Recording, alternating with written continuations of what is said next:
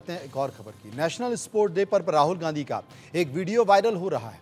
कांग्रेस नेता और सांसद राहुल गांधी ने सोशल मीडिया साइट एक्स पर एक वीडियो पोस्ट किया है, जिसमें वो बच्चों को मार्शल आर्ट की कला सिखाते हुए नज़र आ रहे हैं।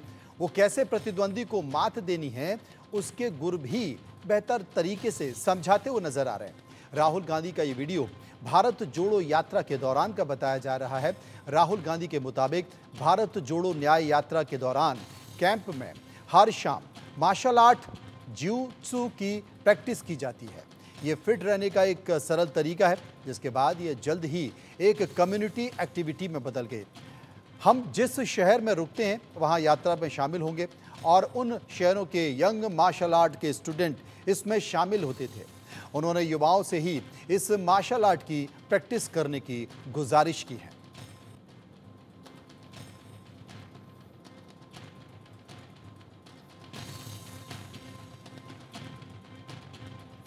एक और खबर, ब्रिटेन में हेट स्पीच के खिलाफ बड़ी कार्रवाई शुरू हो गई है।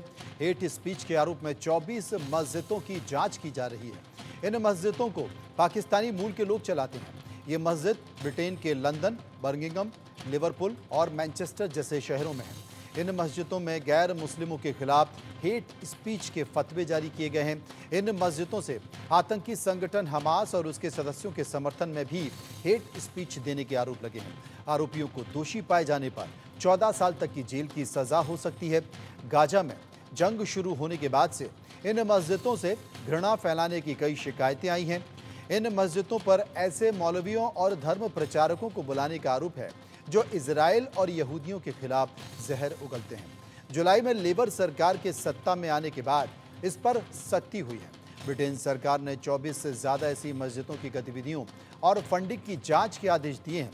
रिपोर्ट के मुताबिक इन मस्जिदों की फंडिंग की जाँच करने का फैसला हेट स्पीच वाले भाषणों के वायरल होने के बाद लिया गया।